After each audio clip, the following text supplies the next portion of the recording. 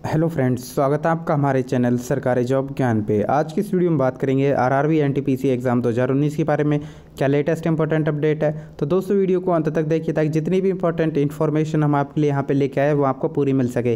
और दोस्तों, video start करने से पहले आपसे हमारी एक छोटी सी रिक्वेस्ट है, अगर आपने अब तक हमारा चैनल सब्सक्राइब नहीं किया तो चैनल को सब्सक्राइब कर दो, ताकि आपको आर आर एग्ज़ाम के साथ साथ अन्य गवर्नमेंट एग्ज़ाम की लेटेस्ट अपडेट मिल सके।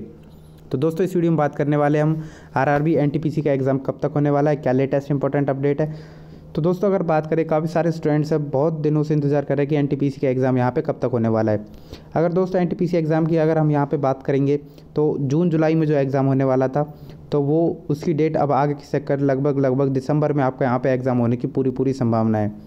तो दोस्तों, आप यहाँ पर देख सकते हो, अक्टूबर यहाँ पर चल रहा है और दिसंबर भी अब आने वाला है। आप और आप अपनी तैयारी को बिल्कुल अच्छे तरह से कर लीजिए, जो आपका एग्ज़ाम है, लगभग दिसंबर में होने वाला है। क्योंकि अभी अभी आप सभी लोगों को पता है, जो ई e की मीटिंग हुई थी, यानी एग्ज़ाम कंडक्टिंग एजेंसी के लिए तो उसी के बाद आपका जो है एनटीपीसी का एग्ज़ाम यहाँ पे होने की पूरी संभावना है। तो आप अपनी तैयारी अच्छे से रखिए और लगभग लगभग दिसंबर में आप तक एग्ज़ाम हो जाएगा और नवंबर तक आपको यहाँ पे एप्लीकेशन स्टेटस आपका जो जारी कर दिया जाएगा, जो अभी तक एनटीपीसी एग्ज़ाम का एप्लीकेशन स्टेटस यहाँ पर जारी नहीं किया गया है। तो फ़िलहाल यही कुछ लेटेस्ट अपडेट आप सब लोगों के लिए। और जल्दी हम आपके लिए यहाँ पे एक मॉक टेस्ट लेके आने वाले जनरल साइंस का, जिसमें आपके लिए क्वेश्चंस लेके आएँगे।